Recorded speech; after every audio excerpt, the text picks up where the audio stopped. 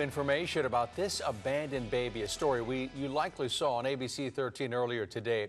Houston police say the baby was found crying on the southwest side of town. Tonight, we have learned a relative called to identify this child this evening, but investigators still haven't been able to find his mom nor his father. Brianna Connor joins us live. So, are the parents facing any charges here, Brianna?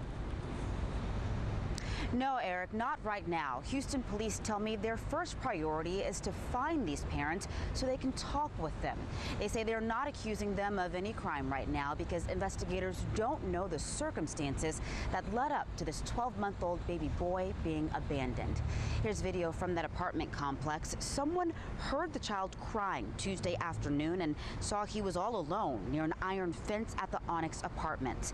They called police who took the baby to the hospital. And if you look closely at this picture, you can see his bottom lip is injured. Investigators say they didn't have any matching missing persons reports, so the child went into the care of CPS. Out at the apartment complex today, we found a lot of parents out there sharing his picture and information, motivated to try and help a helpless child.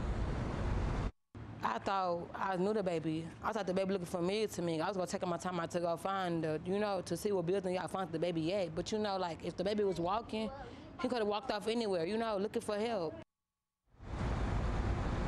We still cannot confirm whether that child lived at the apartment complex or if he was just dropped off there. But police tell us they plan to release more information after they find and speak with this baby's parents, including his identity.